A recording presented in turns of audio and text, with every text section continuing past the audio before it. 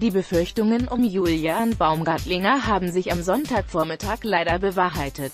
Der Führungsspieler wird Bayer Leverkusen mit einem Innenbandriss im Knie rund zwei Monate lang fehlen.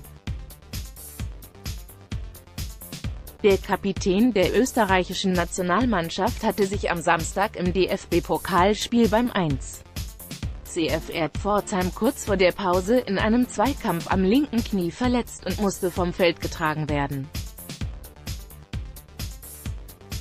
Eine Operation bei Baumgartlinger Heiko Herrlich befürchtete bereits am Samstagabend einen längeren Ausfall seines Routiniers. Ein Wermutstropfen ist natürlich die Verletzung von Julian. Es scheint, dass sein Innenband im Knie gerissen ist, meinte der Coach der Werkself. Die folgende MRT-Untersuchung bestätigte diese Annahme.